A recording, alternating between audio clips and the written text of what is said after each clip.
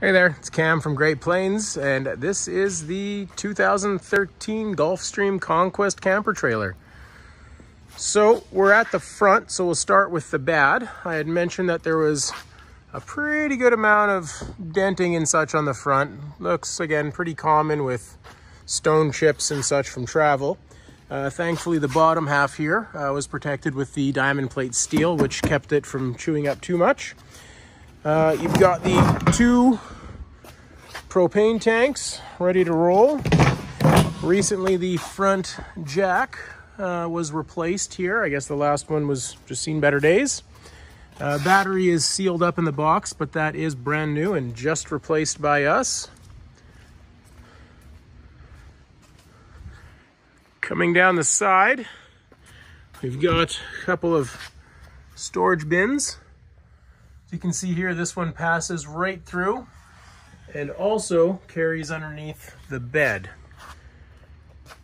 The awning, as I had said, is in great shape. It's a little dirty, but it has no rips, no tears, no holes, and operates totally fine. I'd show you that, but it's a two-hand job, unfortunately. Very nice patio door. Screens are all in great shape. Nothing's been pushed on or beat on by animals or kids. Inside the camper, I had mentioned the mattress had been upgraded. You'll notice down here it overhangs the bed a little bit. Now, that's because it's bigger than the mattress that came with the camper. But underneath, you've got lots of space. And again, you can see just how far the upgraded mattress overhangs.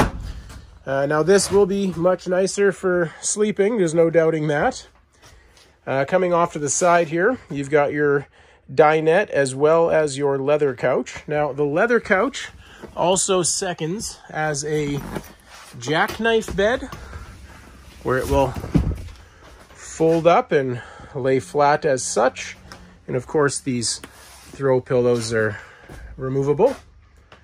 The dinette is the upgraded style, so your table is actually fixed with the straight poles versus the collapsible legs.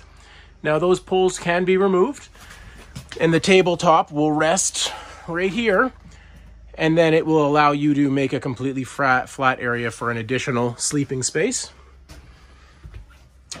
The slide out is located on this side and incorporates the couch and table. Uh, as I also mentioned, the sink is located outside of the bathroom, which is kind of a nice feature. And then inside of the washroom, got your power exhaust fan, skylight, shower, and of course the little bathtub, toilet. Moving off to the side here, you've got your two bunks. So the bottom bunk is good for one to two people. Up top, I would say that's just good for one person. And then down the kitchen side. So down the kitchen side, you've got a full size fridge as well as freezer, all of which is in great shape. Really does not look like it was used very much at all. Nice pantry area. And below that is your uh, breaker box microwave, range hood, as well as your gas stove. Uh, also another appliance that really does not look like it was used very many times. Um, outside of that, you've got a number of drawers. Um, everything is very clean. I, I haven't spotted any interior damage to report just yet.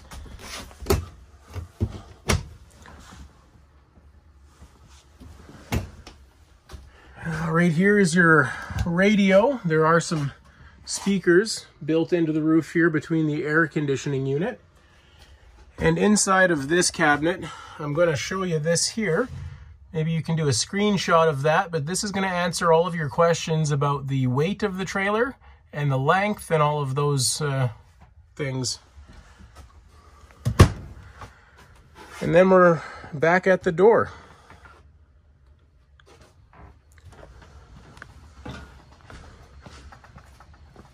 So carrying around the outside, the wheels and tires are in great condition. All of the windows are uh, tinted window, so that's going to help keep you a little bit cooler in the summer, as well as uh, give you some privacy. And one of the features I really like about this one, which they only started doing right around this generation, is you'll notice the roof. It's curved versus flat.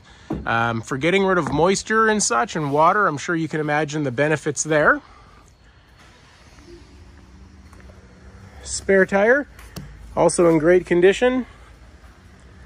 And then uh, a very long, long, long umbilical cord for plugging in for power.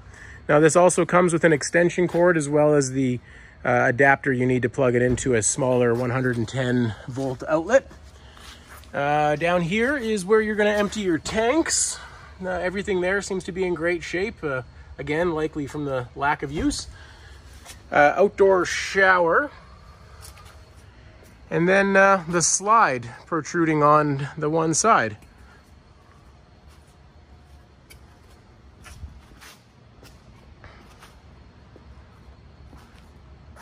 All right, so that is the 2013 camper trailer.